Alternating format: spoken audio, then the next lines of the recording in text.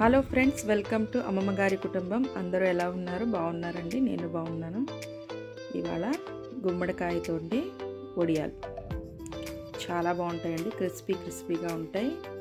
ఆ, గుమ్మడికాయతో వడియాలు అనేవి ఆ టేస్ట్ అనేది చాలా సూపర్గా ఉంటుంది.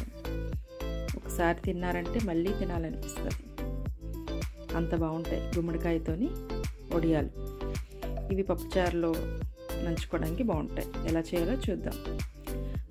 గుమ్మడికాయ అనేది ఫుల్గా కాకుండా ఒక హాఫ్ మొక్క తీసుకొని దాన్ని బాగా కడుక్కొని మనం గుడ్డతో తుడుచుకొని చిన్న చిన్న ముక్కలుగా కట్ చేసుకోవాలి.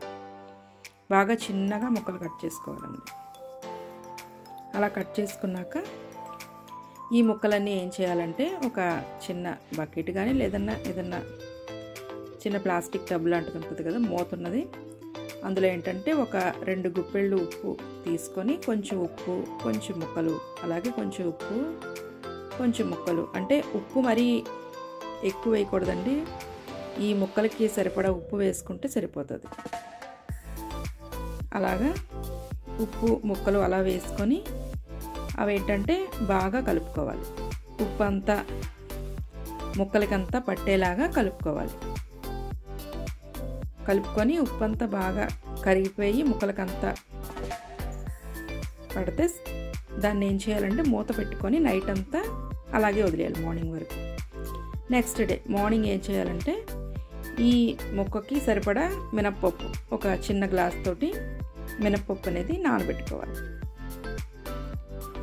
ఆ మినప్పప్పు అనేది నానబెట్టుకొని అది కొంచెం ఒక త్రీ ఫోర్ అవర్స్ నానిన తర్వాత దా మినపప్పుని మిక్సీ చేసుకోవాలి. ఈ లోపు ఏంటంటే ఈ వడియాలు అనేవి మనం రాత్రి నా నానబెట్టాం కదా.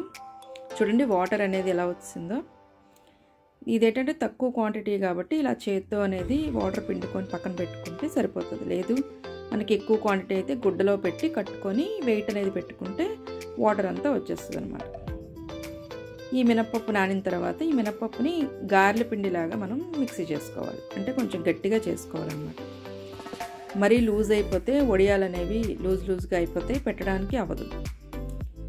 సో మనం గారెల పిండిలా చేసుకొని పచ్చికారం కొంచెం జీలకర్ర అనేది రెడీ చేసుకోవాలి. ఒక రెండు స్పూన్ల పచ్చికారం వేసుకొని అలాగే ఒక పెద్ద స్పూను జీలకర్ర వేసుకొని ఉప్పు అనేది ఆల్రెడీ మనం వేసుకున్నాం కదా నానబెట్టినప్పుడు. ఒకవేళ సరిపోతే ఉప్పు అనేది యాడ్ చేసుకోవచ్చు. లేదు అంటే అలాగే కలిపేసుకోవడమే. ఈ మినపప్పు ముద్దుంది కదా దాన్ని కూడా ఈ ముక్కల్లో వేసి గుమ్మడికాయ ముక్కల్లో బాగా కలుపుకోవాలి. ఇంక చేతితోనే మనం మెత్తగా చేసేసుకోవచ్చు. ఒడియాల్లాగా ముద్దలాగా కొంచెం గట్టిగా కలుపుతూ ఉంటే మెత్తగా అయిపోతాయి అవి. ఆల్రెడీ నానున్నాయి కాబట్టి మెత్తగా అయిపోతాయి. ఇలాగ కొంచెం ఈ గట్టిగా ఇలా ఉంటేనే పొడియం అనేది పెట్టుకోవడానికి బాగుంటుంది. మరి మినపప్పు లూజ్ అయిపోతే లూజ్ లూజ్గా అయిపోతాయి వడియాలు. ఎండడానికి కష్టంగా ఉంటుంది. ఎక్కువ టైం పడుతుంది. ఇలాగ ఒక ప్లేట్లో కానీ లేకపోతే ఒక క్లాత్ తీసుకొని క్లాత్ మీద కానీ వడియాలు అనేవి మనం చిన్న చిన్నవి పెట్టుకోవాలి.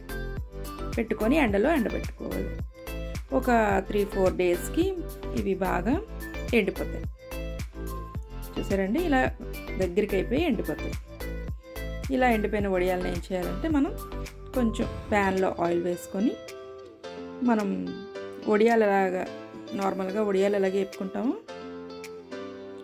వీటిని కూడా అలాగే ఆయిల్లో వేసి కొంచెం అలాగ రెడ్ కలర్ వచ్చే వరకు మనం వేపుకుంటే గుమ్మడికాయతోని వడియాలు అనేవి రెడీ అయిపోయాయి.